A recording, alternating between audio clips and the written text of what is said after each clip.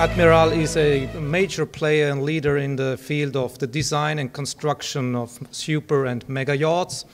That these all boats that are exceeding at least a length of some 35 to 40 meters and with no upper limit, of course.